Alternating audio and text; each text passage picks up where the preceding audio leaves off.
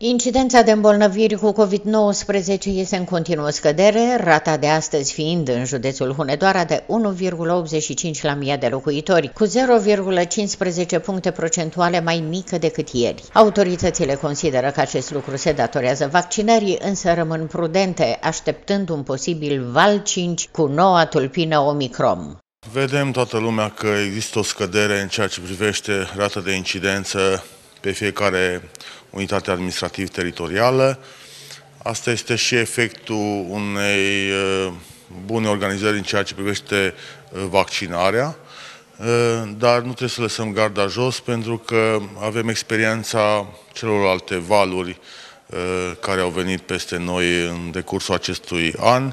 Se preconizează un val 5 la începutul anului și atunci trebuie să ne pregătim în ceea ce privește eu știu ce măsuri vor trebui să fie luate dacă va începe să crească rata de, de incidență. În acest context, recomandarea prefectului de Hunedoara este ca în continuare să fie păstrate normele de siguranță aflate în vigoare pe perioada stării de alertă. Actuala stare de alertă expiră în data de 8 decembrie și, aproape cert, aceasta va fi prelungită cu încă 30 de zile. Dar, cu toate că rata de infectare este în continuă scădere, este posibil ca mult așteptatele măsuri de relaxare, mai ales că vin și sărbătorile de iarnă, să nu mai vină, fiind posibil să fie menținute cele actuale actuale?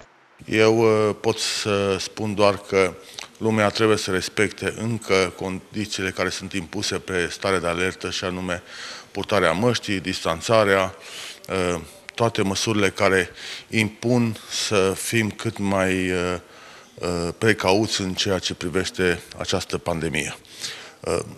Dumneavoastră spuneați despre modificările care, să zicem, vor fi Uh, la un moment dat, în 8 decembrie, expiră acele 30 de zile pe rata, pe starea de alertă.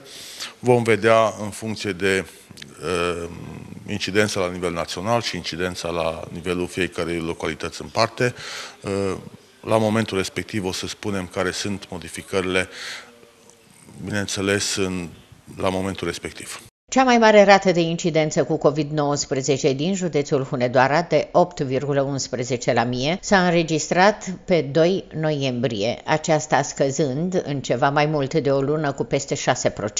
La ora actuală în județ sunt 11 comune și municipiul Orăștie, în care incidența este de 3 la mie de locuitori, adică în cod roșu, cea mai mare de 11,72 fiind înregistrată în Luncoiu de Jos, unde sunt 20 de persoane infectate cu COVID-19. De asemenea, în județul Hunedoara sunt și 12 comune în care nu se înregistrează cazuri de COVID-19.